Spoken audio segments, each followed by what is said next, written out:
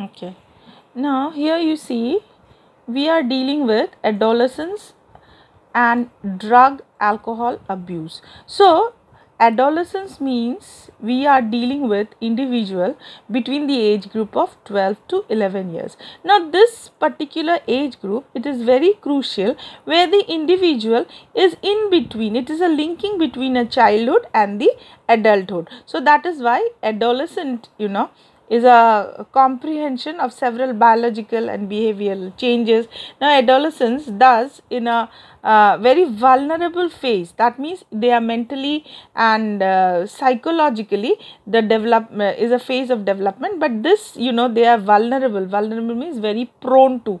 Okay, so prone to or they have got a tendency of uh, depending on anything. Okay. So basically the mental state is some may feel very adventurous and excitement. That is the natural tendency in an adolescent.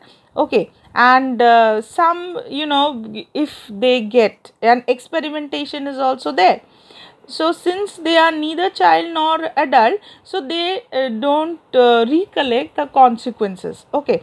A child's natural curiosity okay motivates him or her and it's a compli and complicate further by the effect of that might be uh, perceived by the use of alcohols and drugs. Okay sometimes you know under the pressure or stress also. For example academic uh, ex, uh, academic pressure or the examinations pressure youngsters try alcohol and drugs. And it is also way a major cause of youth uh, to start these habits you know some people uh, purposefully they give uh, these drugs to the children so that uh, they get addicted to that. So basically if we deal now what is basically addiction is?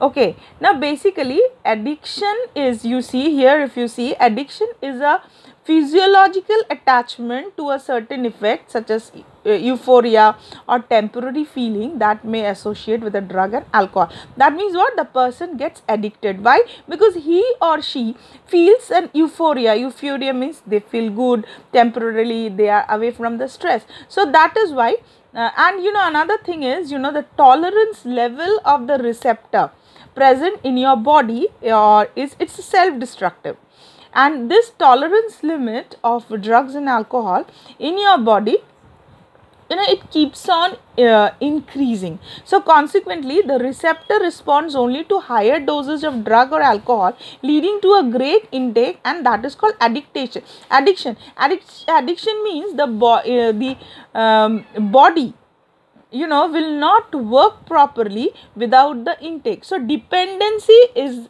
dependency on the drug is a tendency of the body to manifest its characteristics of unpresent and withdrawal syndrome if regular dosage of drug and it disrupted ab uh, abruptly discontinue.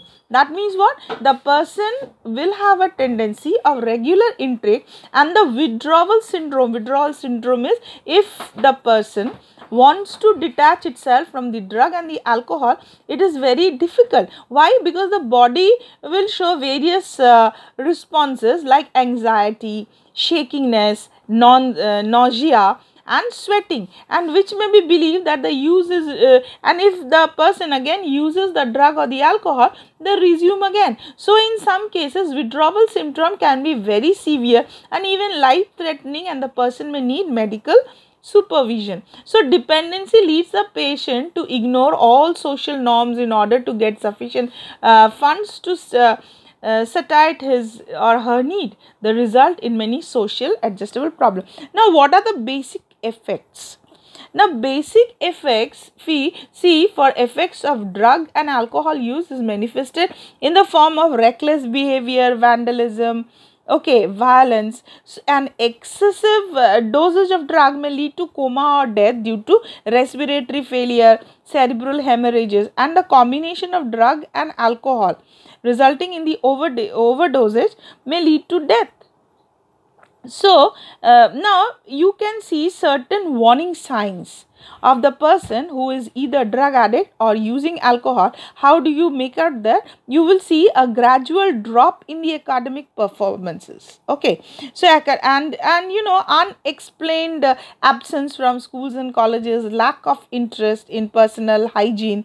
Okay. Then the person will be, uh, social withdrawal, then isolation, depression, fatigue, aggressiveness, and rebellion.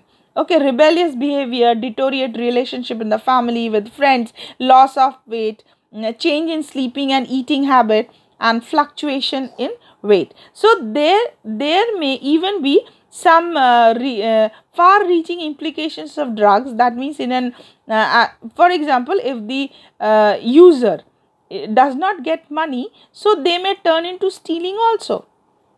Okay so basically they may look very distressed and very disrupted social behavior is there. So it is very important to see. And you see they may and if the person is uh, taking regular drugs injecting drug so uh, aids hepatitis b these are also very uh, common diseases that may come under. Now see overuse of alcohol in adolescent may leads to damage in the central nervous system may lead to liver cirrhosis. Okay now certain sportsmen you know in our earlier classes we all have seen that there are certain drugs you know that uh, energizes the particular person. Okay. Some may uh, over secrete the adrenal gland or in some cases the person the central nervous system may be become hyperactive. So that is doping. So these are also misleading and misuses of this uh, drugs. Okay.